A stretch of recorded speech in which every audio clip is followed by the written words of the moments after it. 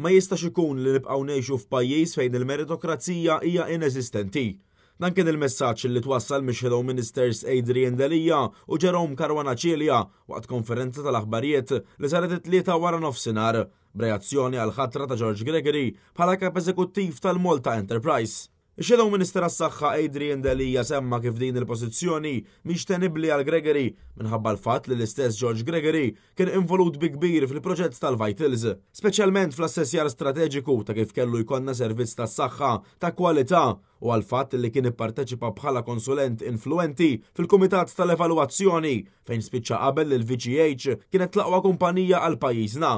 minkejja d-dubji serji li kien hemm dak iż-żmien. Minnufih, allura, George Gregory, dak iż-żmien, kellu l-obbligu li jagħti l-parir li jgħid illi joħroġ ir-red flag biex jgħid isma', jekk aħna verament irridu li jkollna l-aqwa servizz fis-settur tas-saħħa fit-tmexxija ta' dawn it-tliet sptarijiet, assolutament ma nistgħux naħtru, nagħżlu, nappuntaw, nagħtu l-kuntratt, il-vitals.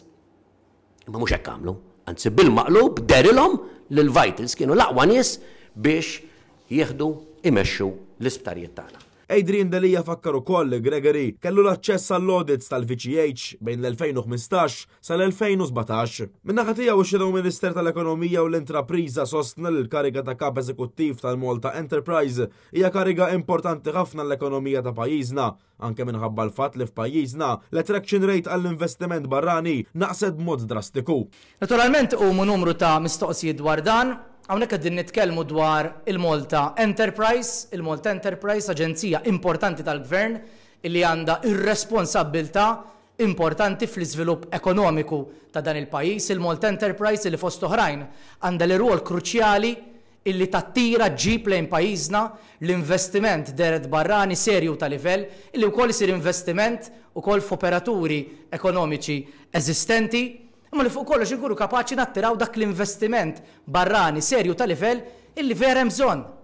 biex verament ikollna ekonomija sostenibbli billi noħolqu xogħol ta' kwalità, xogħol pagi li jrendu u mhux iċ-cheap labour. Jerome Caruana Cilia sostna li l-Prim Ministru Robert Abela qiegħed iġib lill-partit qabel il-pajjiż b'sensiela ta' musical chairs li għadha għaddejja bħalissa b'nies inkompetenti ingħataw pożizzjonijiet minħabba raġunijiet ulterjuri. Ix-Shadow Minister saħqu li l-fatt li Robert Abela għażel persuna li kien involut fl-akbar frodi li qatt seħħ f'pajjiżna juri tmexxija fqira u inkompetenti, anke l-fatt li wara din id-deċiżjoni jista' jkun hemm raġunijiet serjissimi.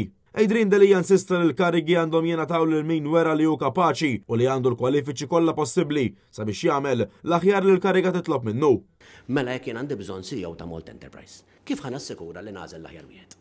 Billi nagħżel xi ħadd marbut mal-ikbar falliment li qatt kellu f'pajjiżna, billi nagħżel xi ħadd li ried jiżen il-barranin li ġejjin illi kien involut fl-iskandlu fejn ħallasna 'l fuq minn erba' mitt miljun u ma ħadna xejn, mela dak il-persuna li kien involut f'dawk id-deċiżjonijiet, Irid ikun il-persuna li ħa jiżen id-deċiżjonijiet ta' barranin ġodda li ħa jiġu f'pajjiżna, mela ċertament Gvern Nazzjonalista ma jiżilx nies li diġà imnawrin, li diġà għandhom rekord ta' falliment fejn taw il-parir jew kienu involuti.